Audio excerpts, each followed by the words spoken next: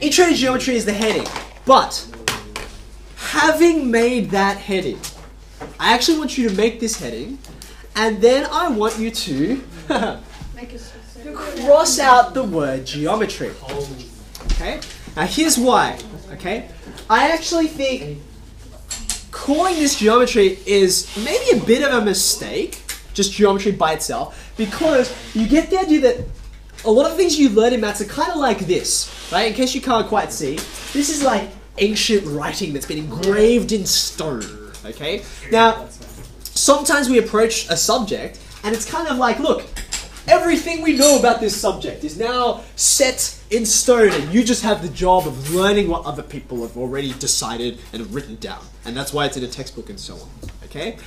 The reality is, the reason why I don't want you to just make the heading geometry is because geometry is not set in stone. It never has been.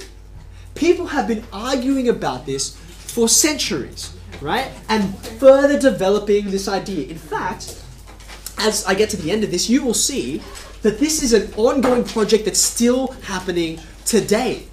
Okay, so in fact, I think a better name for this topic that we're doing, it's a little bit cheesy, but this topic really is a global historical project. It's the Global Historical Geometry Project. That's what this topic really is. It's, it has a long past, right?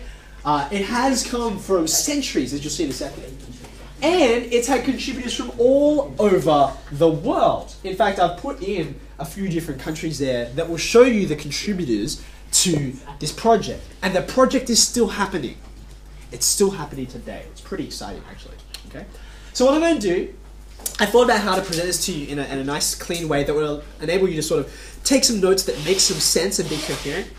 I'm going to introduce you to some personalities. Some of them you know, some of them you don't. Okay. Um, they are by no means the only people involved in this story. Okay, but they are kind of like the main characters. Let me introduce you to some people. Here we go. Here's my first person, right? And uh, this is very, very old, so I'm not expecting that anyone knows who this is. Any takers? I've heard some great suggestions. We are in the right country, most of you. The person who this is is named Euclid. That's the first little heading you can make. Euclid, okay? Uh, Euclid lived a very, very long time ago, and he was interested in shapes. In fact, he was the kind of person you can actually see what he's doing if you squint. He's drawing shapes. Okay, he was the the main person who introduced us to this idea of understanding shapes as these perfect ideas out there. Like, okay, look, right? Um, have a look at okay, have a look at my watch. Right? Have a look at my watch. Uh, what shape? Just the face. What shape is the face of my watch? Circle. It's a circle, right? Right? Wrong. It's not a circle, okay? Not just the fact that you know it's got it's got knobs coming out and all that kind of thing. But if you take like a microscope, okay, and you zoom in on my face, what you'll actually find is it doesn't look like this when you zoom in. It actually looks like there's like weird bits and dents and all that kind of thing. You zoom in, right? And um, there's heaps of like I've dropped this a hundred times, right? It's nothing like a circle. It only looks like a circle because you're very far away, okay?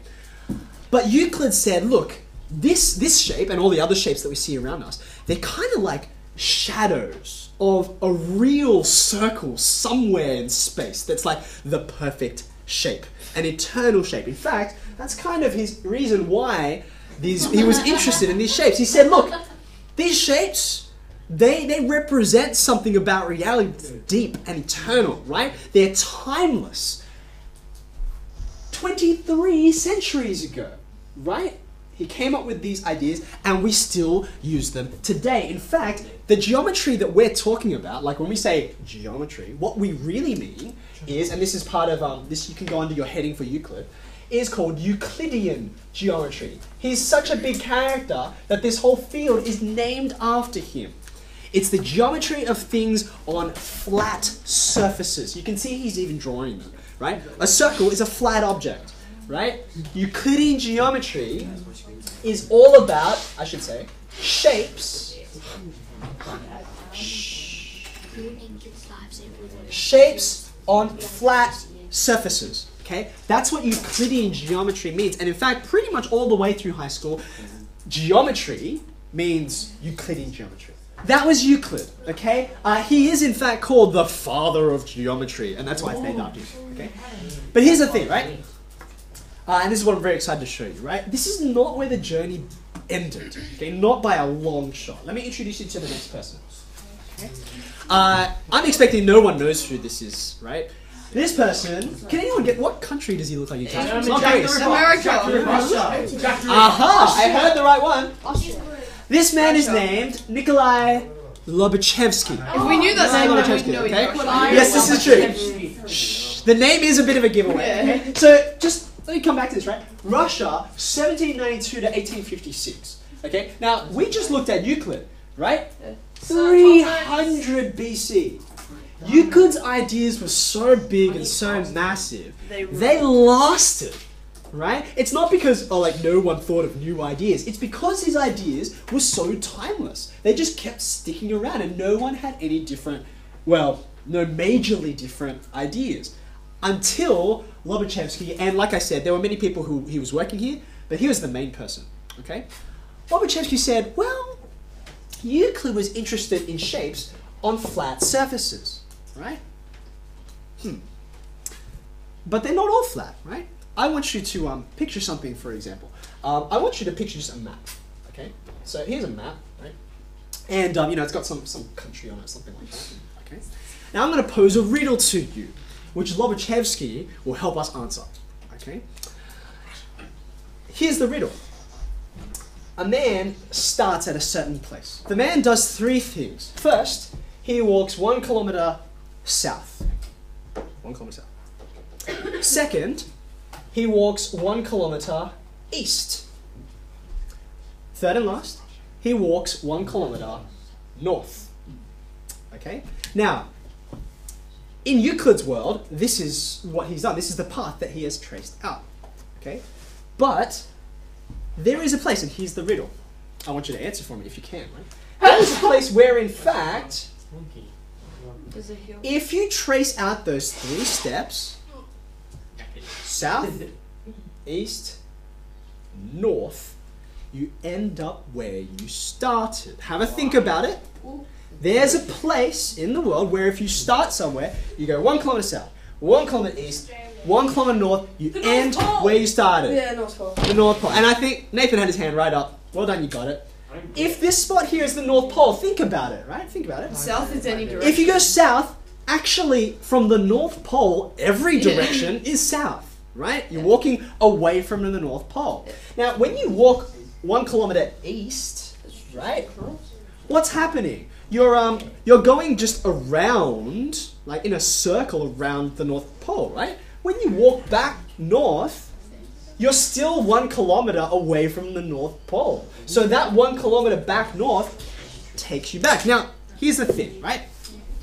This this riddle doesn't make sense in Euclid's world.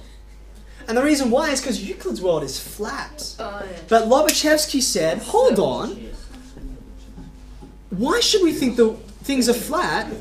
The thing we're standing on is not flat. It's a, well, roughly speaking, it's a sphere. It's, it's not really a Yeah. sphere, is it? But that's the basic idea, right? So Lobachevsky explored this idea of what happens when geometry is not flat. Okay? Now here's an example. Here's an example of a shape that Lobachevsky has called. He called it a saddle because you know, you know, on a horse you sit on a saddle. But of course you might think that's not a saddle. That's Pringles. I know what that is. That's a Pringle, right? Now Pringles. this whole idea of geometry that is not flat. It's groundbreaking. It's so groundbreaking, in fact, that um, it got a new name. Uh, just like Euclidean geometry, this kind of geometry is called Lobachevskian geometry. Let me write that. So, Lobachevskian geometry is shapes on curved surfaces. Right? Shapes on curved surfaces. Now, I will just quickly tell you, and you might be able to see why. the name Lobachevskian geometry doesn't always stick. Not everyone's that happy with the name. Can't think of why. So here's another name for it. If you're curious, this is not the only kind of shape, right? There's loads of other ones like it. It's just one example. A synonym for this, another kind of name for this, which describes what this shape is, is it's called hyperbolic geometry. That's a fancy name. This kind of shape, this curvature, right, is a kind of hyperbolic shape. That's that's the name of that kind of curved object. Okay, so this is what Lobachevsky had as an idea, right?